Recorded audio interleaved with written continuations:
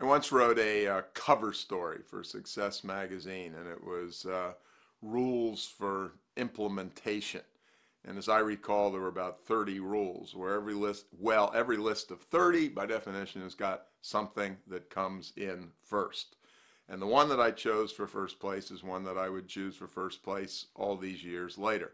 And it was don't forget your thank you notes. Thank you is recognition of a job well done. Uh, moreover, and I could go on for two hours instead of two minutes, the most important to person to send thank you notes to is not the vice president you called on, but the vice president's secretary who was able to get you a meeting with the vice president. I had a guy I worked for years and years ago in the White House, and he sequestered himself in his office at the end of the evening around 6:37 or 7:30, and literally wrote 15 or 20 thank you notes per evening.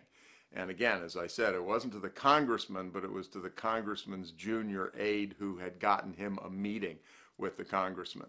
Well, many, many years ago, the great American psychologist William James famously said, and, and listen up, please, the deepest human need is the need to be appreciated. And mm, if anybody's ever said anything that was correct, I think that's it.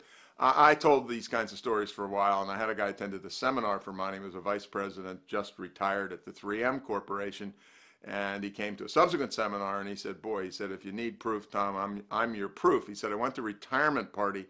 And he said, I remember this one guy who came up to me and he almost had tears in his eyes. And this fellow was an understater, not an overstater, so it's probably true. He said he almost had tears in his eyes and he thanked me for a thank you note that I had sent him 10 years before that he still had posted on the wall of his cubicle. You say that may be an exaggeration.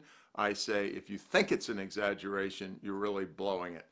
I made a list of how to get things done. I put thank you notes at the top of the list. If I was making a list today, I put thank you notes at the top of the list. Recognition, appreciation, nothing gets you further, and it also makes you a better human being.